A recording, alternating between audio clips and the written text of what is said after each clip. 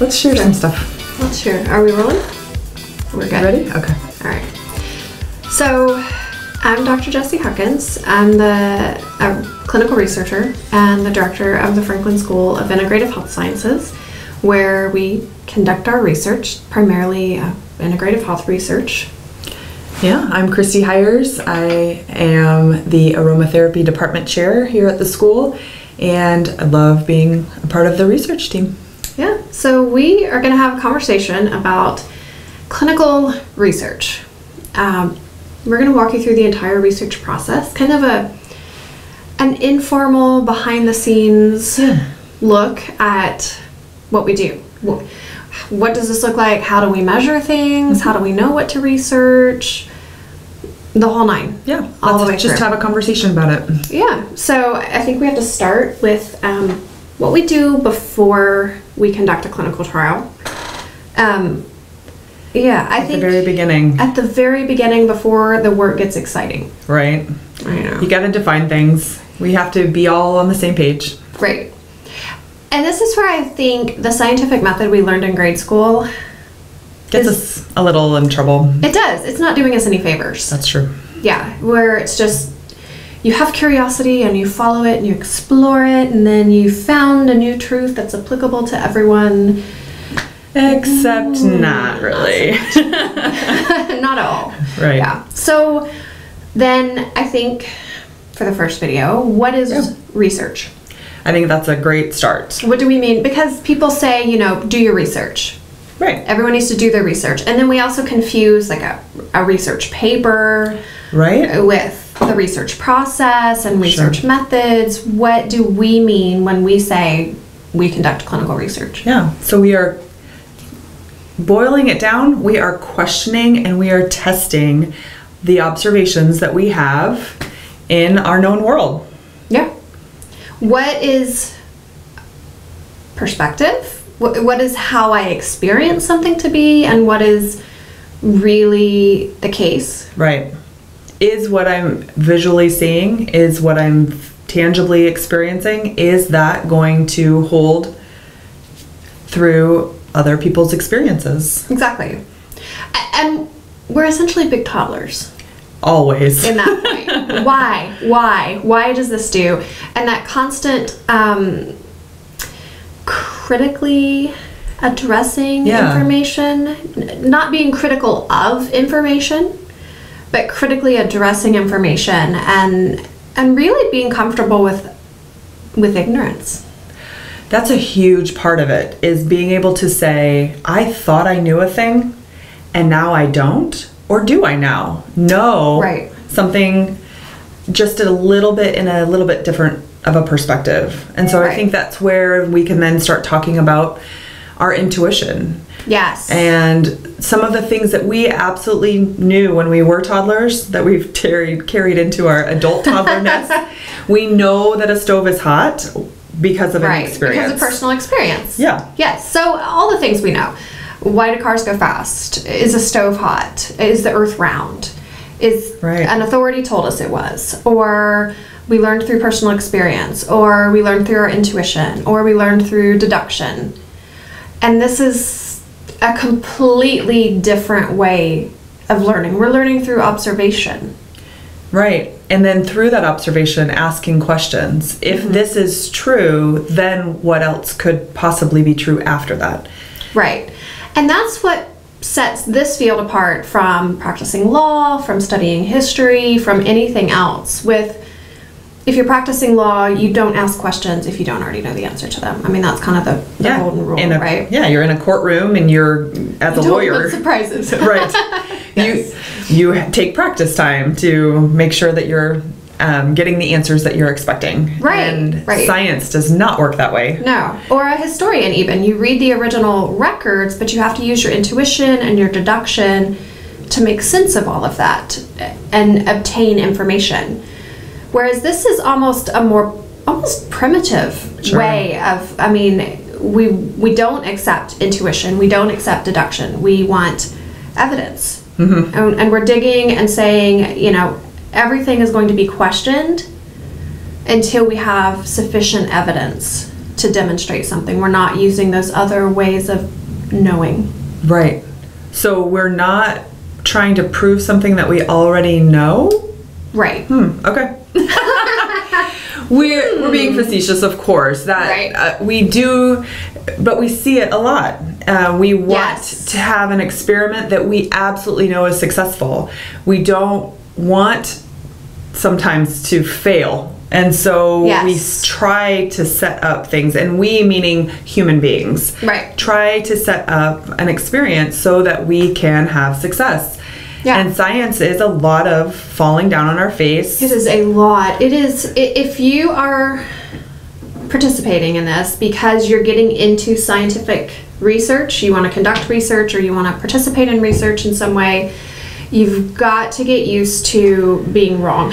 Right? I mean, Absolutely. the first thing that's going to happen is your ego is going to take a nosedive. This this is not a field for patting yourself on the back and having all the answers. It's actually a field for recognizing how many answers we don't have.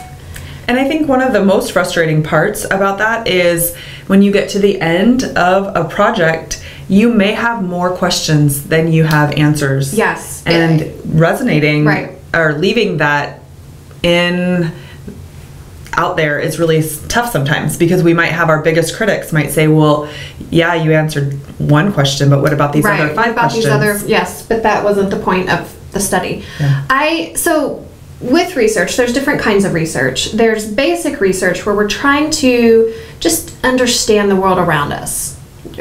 Why does the apple fall from the tree? And then there's applied research where we're trying to solve problems. Okay. And I always like to look at it as so there's a lot of caves around here. We're based in Nashville.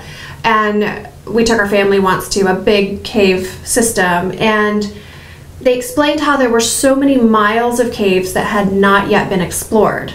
Because when they're going through a cave, a new system, they will take it all the way to the end. And then they make notes of the new tunnels that they discovered. And then when they get to the end of it, then they can start down one of those tunnels. Yeah, absolutely. And then they notice new ones they need to discover and so on. And it's a lot like that. You know, we're, we're answering a question, we're taking it to discover what's there. But ideally, then we come back and say, we found five new lines of inquiry we didn't even know existed as a result of this exploration. And so then there's, th- that's why the field continues on forever. Sure. We, we don't have to artificially create new questions. As we do our job, we find, so that worked, why? Will it work over here? Will it work in that population? Right. Or this didn't work at that dose. Why did it not work at that dose? Will it work at this other dose? Is you know, is this going to happen? Is that going to happen? And so again, that that getting comfortable with being wrong because it's good information yeah. you know, uh, conducting a clinical trial and finding that something doesn't work in this population at this dose is just as exciting as finding that it does. Yeah, and staying on track. The other part of that is what you what I was picturing is how fun would it be to say, "Oh, I'm not going to go to the end. I'm going to go off." And and we have to as science Yes. researchers, we have to stay the course. You have to get to the end even if you feel as though you're going to get a negative results and that Yes. won't be as popular of an opinion.